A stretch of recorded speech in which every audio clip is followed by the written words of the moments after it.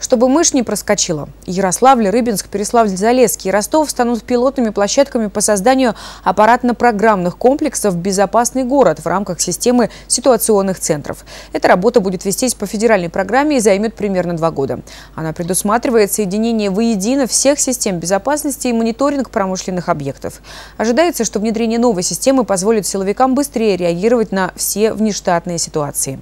Этой теме будет посвящена Всероссийская конференция, которая пройдет в Ярославле Ярославле с 7 по 9 октября. В ее работе примет участие замминистра МЧС России Александр Чуприян. У нас есть распоряжение правительства о развитии АПК «Безопасный город». И все регионы Российской Федерации в той или иной мере будут в этом деле участвовать.